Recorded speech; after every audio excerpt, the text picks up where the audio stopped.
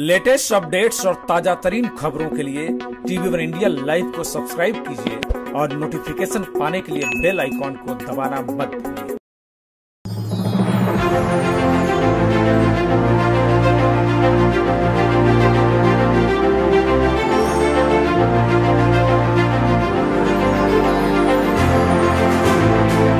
मैं एक इंडियन थी फाइनल में तो सारी, सबकी उम्मीदें मेरे से ही थी। टेंशन भी था कि मतलब मैं सबकी उम्मीदों पे खड़ी हो पाऊँगी या नहीं। बट जब मेरा हाथ उठा अनाउंसमेंट होने के बाद मुझे बहुत खुशी हुई और एट द सेम टाइम मैं मतलब इमोशनल भी हो गई थी सर कि फाइनली इतने साल बाद मेरा जो ड्रीम था अपने देश के लिए गोल्ड मेडल जीतना वो मैंने पूरा किया। कितने देश के लोग पराजित किए?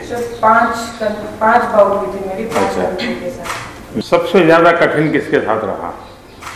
कठिन मतलब कठिन तो नहीं कहूँगी मैं मतलब ज़्यादा टेंशन फाइनल में था क्योंकि एक फाइनल में पहुँचने के बाद ज़्यादा और रहता है कि इतने वो तो क्रिकेट वाले भी 99 पे होते हैं तो सेंचुरी अटक जाती है उनकी। बाकी खेलों में काफ़ी टेक्नोलॉजी आई है। इसमें कितनी टेक्नोलॉजी आई है? इसमें भी आई है सर स्कोरिंग बदली है। पहले स्कोर अलग था। अभी नौ दस का स्कोर है राउंड के बाद दिखाता है। और मनीषा का क्या हाल है? आपको अच्छी कैसा रहा मनीषा बताइए अपना अनुभव। सर मेरा भी इंजरी के बाद ये टफ कंपटीशन रहा है मेरे लिए काफ़ी। तो मैं भी अभी और मेहनत करनी है अपने आप के ऊपर काम करना है सर तो। और प्रवीण? सर मेरा मतलब फ़र्स्ट टाइम था सर ये मेजर सीनियर में मतलब फ़र्स्ट टाइम मैं खेल रही हूँ सर और सर मेरी तो मतलब शुरू से ही टफ चली सर बाउट्स बट सर ये था कि कुछ भी रिज़ल्ट मुझे अपना बेस्ट ही देना है सर आप लोगों को क्या लगता है? हम लोगों के, हमारे देश में जो हम ट्रेनिंग करते हैं खास करके आप लोगों के गेम के लिए, और ये बाहर से जो लोग ट्रेन होकर के आते हैं, उनसे बातचीत तो होती होगी खेल के सिवा। तो उनका क्या, आपके लिए एनालिसिस होता है और आप लोगों का उनके लिए क्या एनालिसिस होता? है जी सर हमारे इंडिया में बहुत टैलेंट है सर। देखा जाएगा तो जितना हमारे इंडिया में जितनी साल भर का कैंप लगता है ऐसे कोई कंट्री में इतना लंबा कैंप नहीं चलता है। हम साल भर ट्रेनिंग करते हैं वो लोग करते नहीं है। बट बट एक चीज़ ये भी होता है कि डाइट का भी बहुत इम्पोर्टेंट होता है एक एथलीट लाइफ में। आप तो बिल्कुल सामान्य परिवार के लोग हो। आपके पिताजी तो सऊदी में रहते थे पहले।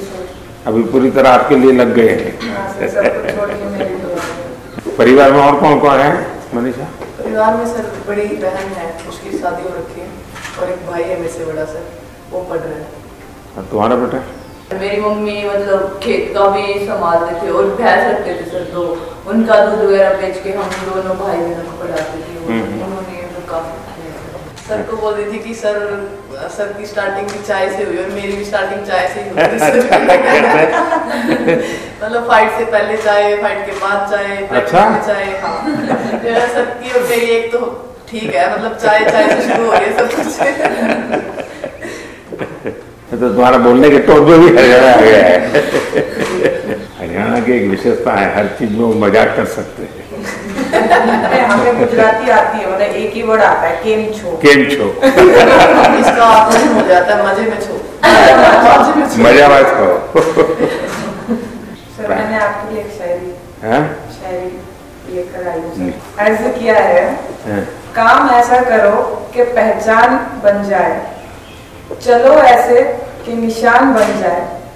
अरे ज़िंदगी तो हर कोई जीता है। जियो ऐसे कि मिसाल बन जाए। वाह। तो आपको शेर शायरी का शौक है या?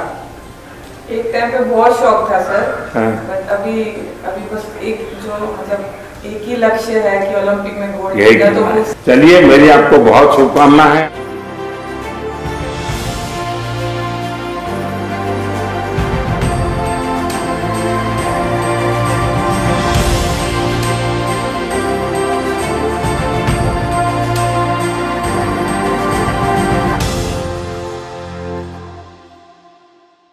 लेटेस्ट अपडेट्स और ताज़ा तरीन खबरों के लिए टीवी वन इंडिया लाइव को सब्सक्राइब कीजिए और नोटिफिकेशन पाने के लिए बेल आइकॉन को दबाना मत भूलिए।